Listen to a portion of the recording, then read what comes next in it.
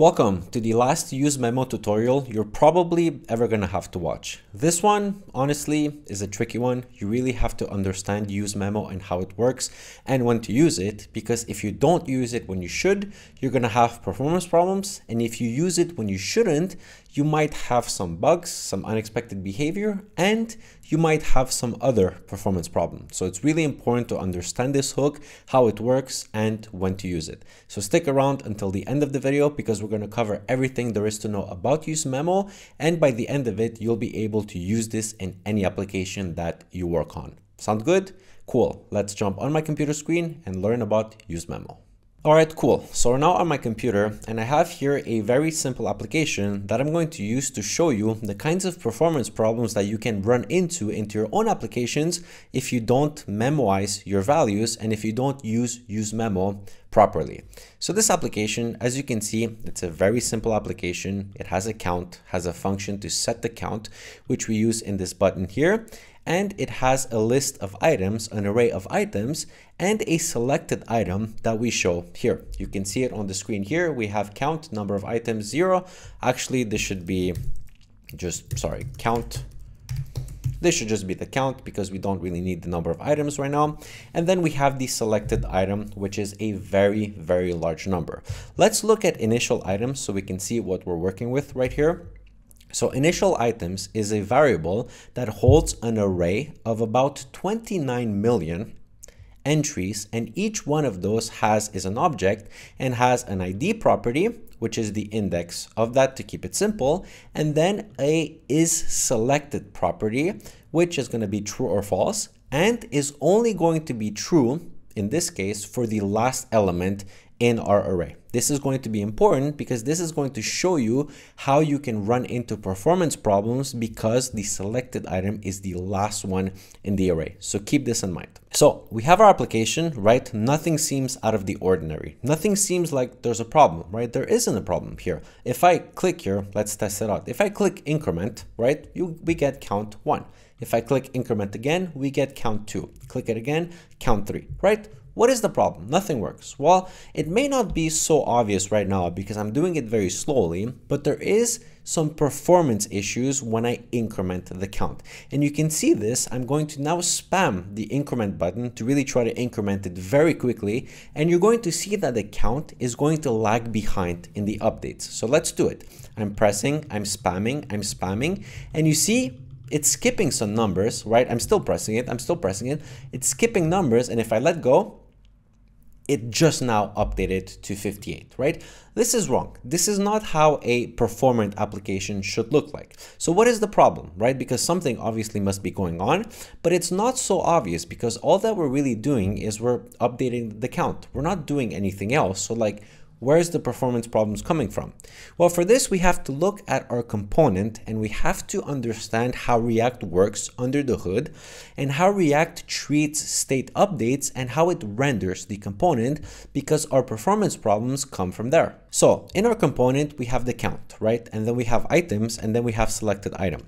When we're clicking this button to increment the count, all we're really doing is we are calling this function right here, this onClick function, which is going to set the count to whatever the count currently is plus one. This is very simple. There's not that much more to it. All it does is it updates the count. The important thing to understand is that in React, to update something, to update state, means you have to trigger a re-render of the entire component. And this is very important. It's very important because if we look at all of the things that are happening in our component, which is all of the things that are going to happen on every render of the component, we have here our count, which is not expensive, right? There's no performance issues with our count. We have here items, which yes, uses this initial items, but because we gave it to state, this will only ever be called once, and that is on initial render when this state is initialized, and then this initial items will not run again and again. So there's no performance there. But if we look here at the selected item, this is where we have the performance issues because this selected item, if you look at what it does, it takes the items and then it goes into the array of items to find the item that is, is selected. And if you remember, if we go into our initial items, which is what this item still is, this is a very large array of objects and the one with is selected is the last one. So this by itself is going to be a very expensive operation because it has to go through 29 million items to find the one that is selected. That is how find works. It goes through all of the array until it finds one item and then once it found the item, it will then return that item. So this is a very expensive operation by itself, but then add on to it the fact that when we're changing the count, we are causing this component to re-render, so we're causing this selected item to be recalculated every time the count changes. That is what we're seeing here. I press increment, the count is changing, and this code is going to loop over the entire array and go until the 29th millionth item to find the one that is selected. Every time I press this button, it is doing that. And so we have these huge performance problems because we're doing unnecessary computations on every render. And this is the performance problems that you are going to run into if you don't think about this properly. And this is what useMemo is here to fix. So then, how do we fix this with use memo? Well, let's first think about what we're actually doing here. We have a selected item that is going through the items to find every single item and return to us the one that is selected. This is great. But let's now think about this in terms of when do we actually need to run this? When do we actually need to compute this so that maybe we don't have to compute this every time, right? Maybe we can only set a certain point at which this is computed and only do it then right? So the first time that we're going to have to compute this is the first time that this component renders because there's no way around it. This is how our code is set up. We have 29 million entries and we have to find the one that is selected. There's no way around this. So we have to run this at least once.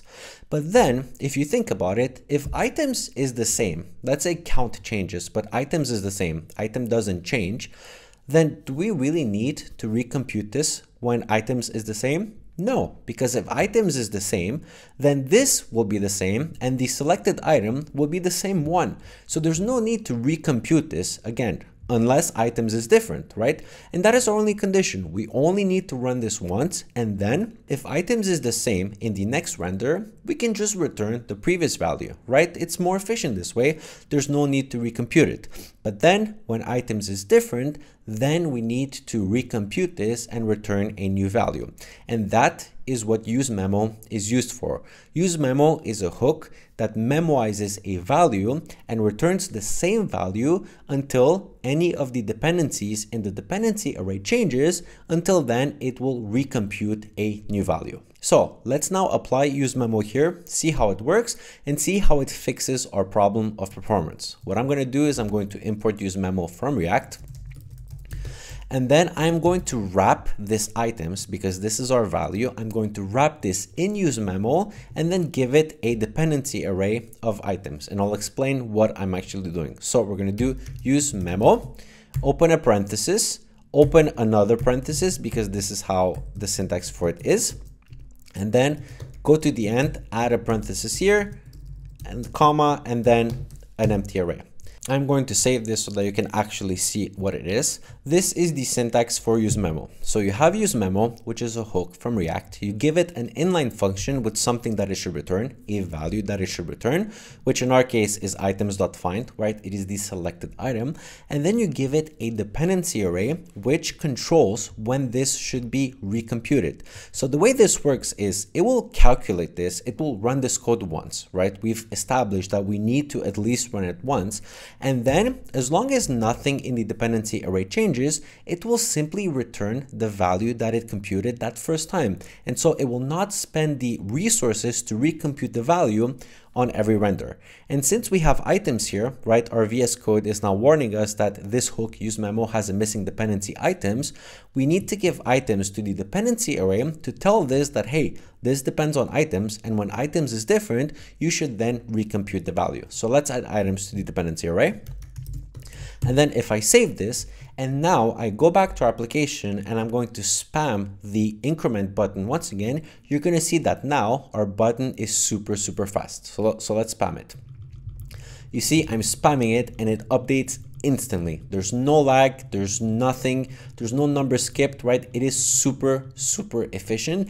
And that is how a performant application should be. That is how your application should be. And if you run into performance problems, it is very important to stop and think about what your code is actually doing and see if you have something that is being recomputed without need. And with this, we have now solved our problems of performance with useMemo. Now, before we end the video, there's one last thing that I want to show you, and that is something that you might run into if you're not careful. Let's instead of item.isSelected, let's put it if item.id is equal to the count, right? And if I save this, okay, and now you can see that our count is zero and the selected item is zero. This makes a lot of sense, right? The selected item is the item that the count is equal to the ID of that item. But let's now look at what happens if I increment the count. I'm going to increment and oh, our count is one, but selected item is still zero. Count is two, selected item is still zero. Why is this? Well, you see, this is a common mistake that people make with useMemo, and they forget to give the proper dependencies in the dependency array.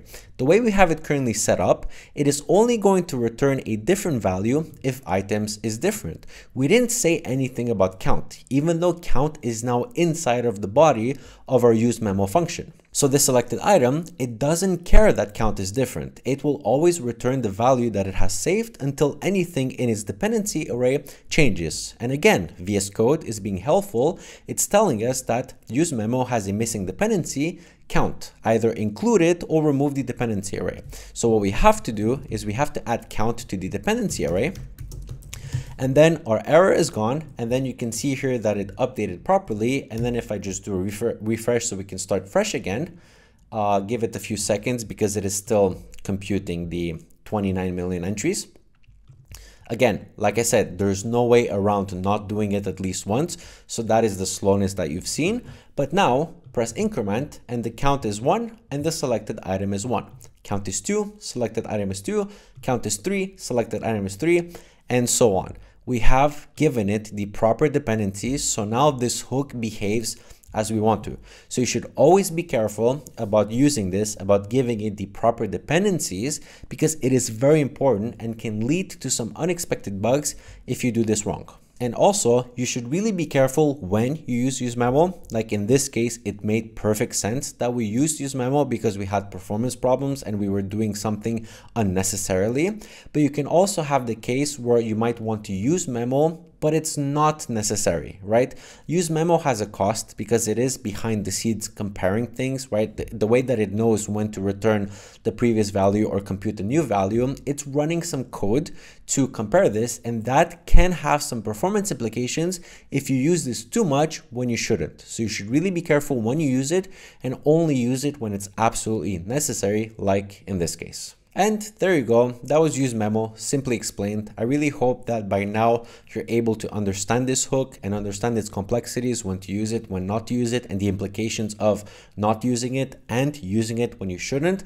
So now go out and use this in your own applications, play around with it, because that is the best way to really get a feel for how this works. Remember, this is a tricky one. If you've enjoyed the video, make sure to leave a like and subscribe because it really, really does help me out a lot. I plan to make a lot more of these tutorials tutorials coming forward.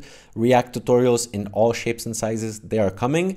My name has been Darius Cosden. This is Cosden Solutions. Thank you so much for watching and I will see you all in the next video. Ciao, ciao.